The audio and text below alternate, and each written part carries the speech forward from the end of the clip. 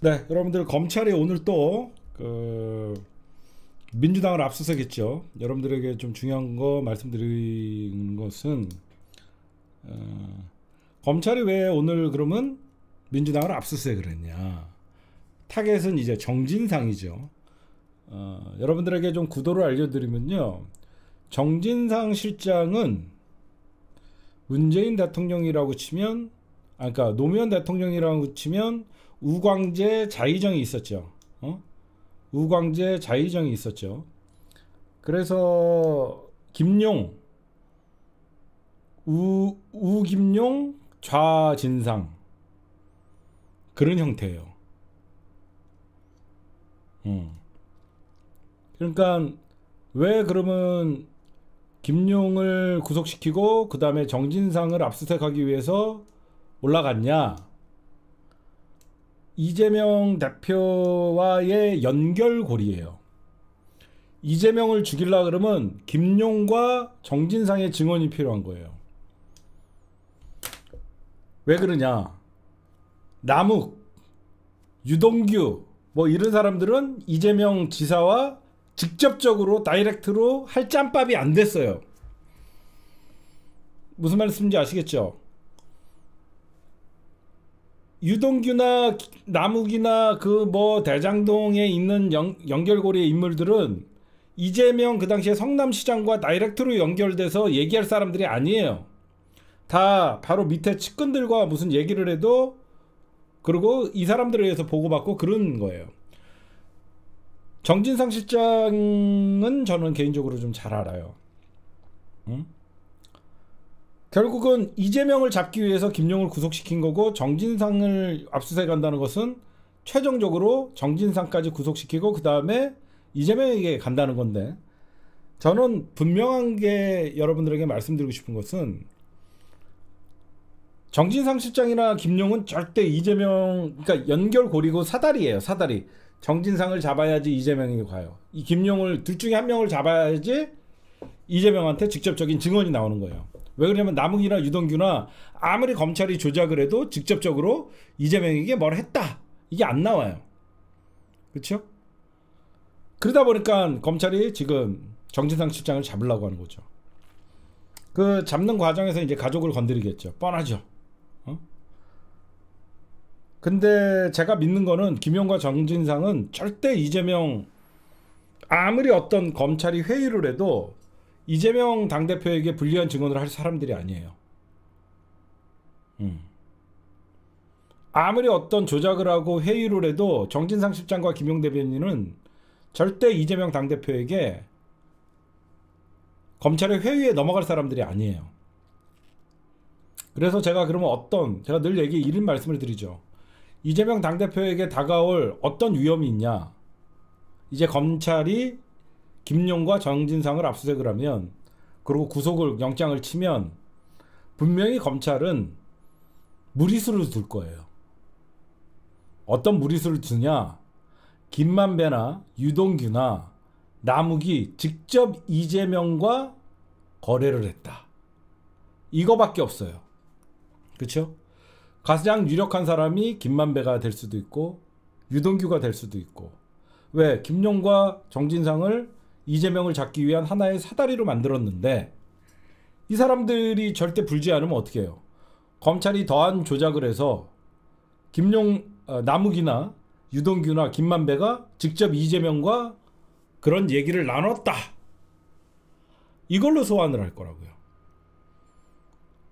제가 보면.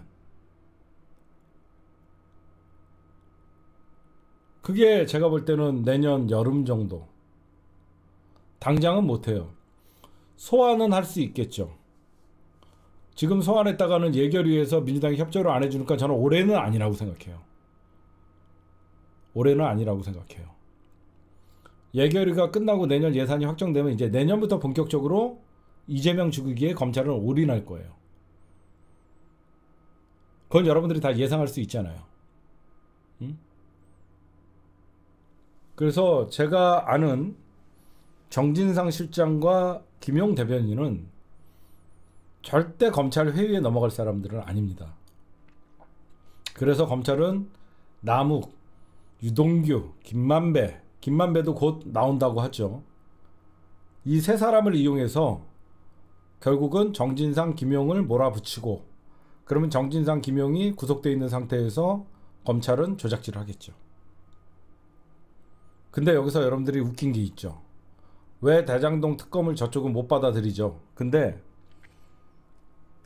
진짜 돈을 먹었다고 50억 클럽이 분명히 나왔음에도 불구하고 그들을 수사하지 않아요. 그러니까 걔네들은 형평성에서 밀리는 거예요. 제가 보면 그래요. 음. 남욱과 아, 남욱이나 김만배나 유동규의 증언으로 정진상이나 김용은 잡을 수 있겠죠. 회유를 통해서. 그러면 남욱 김, 김용과 정진상은 잡더라도 바로 올라갈 수 있는 왜 김용과 정진상 바로 위는 이재명 당대표거든요. 근데 국민들이 아무리 봐도 50억 클럽은 수사를 안 해요. 돈 받았다고 돈 줬다는 사람까지 확실히 나오는데. 근데 여러분들 긴장을 늦추시면 안 돼요. 왜 긴장을 늦추면 안 되냐? 김만배도 나와요. 점점점 대장동 사건의 인물들이 밖으로 나온다는 것은 딴 맘을 품었다는 거예요. 그러면 검찰이 요구대로 얼마든지 조작을 할 수 있다는 것이죠. 그러니까 검찰은 왜 이런 짓을 하냐? 2024년 전에 이재명 끌어내리기가 목표예요. 2024년 전에 이재명 사법 리스크를 현실화시켜서 민주당을 공중분해시켜서 결국은 2024년 총선을 이끌라는 거예요. 제가 보면 그거예요. 이재명을 제거함으로써 민주당을 와해시킬 수 있는 거. 이럴수록 개국본이 더 나서야 돼요. 그래서 우리 민주동지 여러분들 민주당이 싫다 그래서 민주당을 외면하면 안 돼요. 민주당이 약하고 수박이 많다 그래서 민주당을 외면하면 안 돼요. 민주당보다 더 강한 민주 세력이라고 믿던 정의당 무슨 짓을 했어요? 여러분들 이번에 대선 전에 문재인 정권 들, 들어서서 정의당의 형태에 여러분들이 기가 찼죠. 그 전에 여러분들이 생각하는 정의당은 어떤 정당이었습니까? 여러분들에게 묻고 싶어요. 민주당보다 더 진보적인 정당이라고 생각하지 않았어요? 제 말 맞죠? 여러분들이 생각하는 과거의 민주노동당 그리고 정의당 하면 어때요? 더 진보 개혁적인 정당이라고 생각했죠. 근데 실질적으로 문재인 정부 들어섰을 때 정의당은 어땠어요? 국민의힘 이중대 같이 보였죠. 겉으로는 더 개혁적이고 거의 더 겉으로는 더 노동자와 서민을 위하는 정당이라고 생각했지만 결국 그들이 선택은 어땠어요? 반민주 세력과 손잡아갖고 민주당을 공격했던 세력이에요. 그래서 제가 민주당 이외에는 그 어떤 정당도 못 믿겠다는 게 그거예요. 지금 더 선명한 민주당, 더 선명한 진보를 얘기한다는 사람들이 과거 다 정의당 지지자였던 사람들이에요. 정의당이 망하니까 신당 창당 작업을 하는 거예요. 제 말 이해가 가세요? 정의당이 망하니까 신당 창당 작업을 하는 거예요. 하여튼 우리는 딴 거 없어요. 이재명을 지키지 못하면 민주당은 공중분해된다. 그래서 이재명에게 다가올 여러 가지 검찰의 공격, 민주당 지지자들이 막아내지 않으면 누가 막아내겠습니까? 응? 그 개국본이 중심이 돼서 지켜야 돼요. 그렇죠? 개국본이 중심이 돼서 지켜야 돼요. 적어도 개국본은 민주당 지지자들이 모여 있기 때문에 여러분들 자부심을 가, 가지십시오. 여러분들이 뭐 민주당을 지지한다 그래갖고 여러분들이 중도예요? 아니에요. 더 망고 풍파를 겪고 더 개혁적이고 진보적이지만 그래도 민주당이 있어야지 국민의힘에게 단 한 석이라도 줄여들 수 있기 때문에 여러분들이 그러는 거예요. 저는 오히려 이제 시민단체의 대표를 놓음으로써 더 강렬하게 매일매일 방송을 통해서 민주당 이재명 대표와 민주당을 지키는 방법을 모색할 거고 여러분들의 힘을 규합시키는 역할을 할 겁니다. 그 어떤 공격이 들어오고 어떤 시련이 다가오더라도 민주당을 망하게 하고 이재명 대표를 끌어내리는데 앞장서는 인간들 도저히 묵과할 수가 없어요. 지금 일련에 일어나는 사태들을 가만 보세요, 여러분들. 진짜 누가 민주당을 위하고 진짜 누가 이재명을 지키려고 노력하는지. 그쵸? 제, 제가 10년 동안 누구를 지키고 누구를 어디를 지지했는지를 가만 보시면 여러분들이나 나나 우리가 왜 아무리 흔들어도 흔들리지 않는 조직인지 알 수 있을 것 같아요. 음. 우리는 아무리 마음에 안 들어도 민주당 후보로 나온 국회의원, 민주당 후보로 나온 대통령을 찍으면 돼요. 그게 바로 개국본이에요.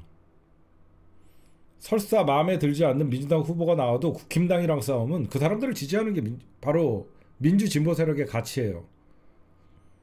우리가 소위 말하는 수박과 국민의힘이 붙었다고 해서 수박이 싫다고 국민의힘을 찍거나 수박이 싫다고 선거를 포기하는 일이 생기면 안 돼요. 그거는 국민의힘이 바라는 일이에요. 그렇죠? 저는 아무리 싫어도 국힘당보단 잘해요. 아무리 미워도 국힘당보다는 덜 미워요. 그게 민주당 지지자들이에요. 그게 개국본 지지자들이에요. 음.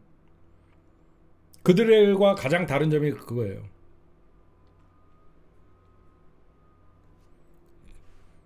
우리 개국본은 그 방향으로 싸웠으면 좋겠어요. 다행히 우리 노정열 대표님이 누구보다도 민주당을 사랑하는 분이니까 그게 될 거라고 생각합니다. 음. 예.